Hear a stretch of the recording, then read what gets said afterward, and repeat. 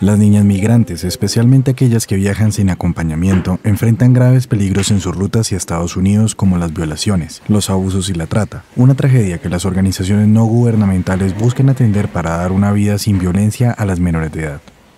María es una niña salvadoreña de 11 años que utiliza este nombre ficticio por seguridad y es atendida por la ONG Plan International. Es que está muy llena de pandillas y son muy peligrosos porque andan matando.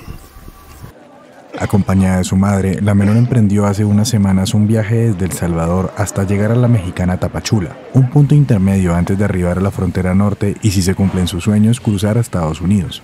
La madre de la niña explicó que huyeron de su país por las pandillas que les arrebataron incluso el poco patrimonio que tenían. El fin de mi viaje es pues ya estar a salvo de donde vengo porque aquí me siento más segura. Y pues mi sueño es ver a mi hija triunfar. La mamá de María explicó que cuando más lo necesitaban, la ONG Plan International les otorgó un kit y una tarjeta para comprar una despensa que les permite cubrir sus necesidades básicas. Carla González, coordinadora de proyectos, afirmó que los niños y niñas, acompañados o no de sus familias, llegan a México desde diferentes países de la región por diferentes motivos, desde la violencia a la pobreza más extrema, como es el caso del convulso Haití.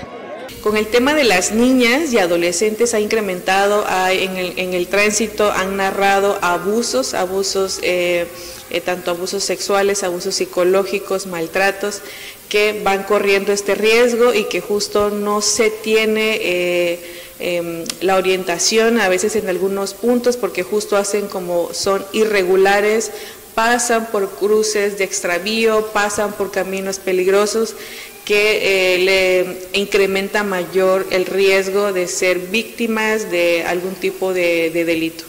Esta ONG trabaja con un socio local que brinda atención a casos individuales para garantizar el bienestar de la niñez y su entorno, atendiendo a unos mil menores de edad desde 2021 hasta la fecha.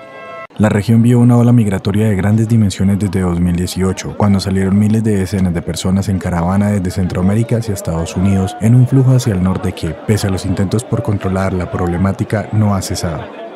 México deportó a más de 114.000 extranjeros en 2021, de acuerdo con datos de la Secretaría de Gobernación del país. Además, la Comisión Mexicana de Ayuda a Refugiados recibió un récord de 131.448 solicitudes de refugio en 2021.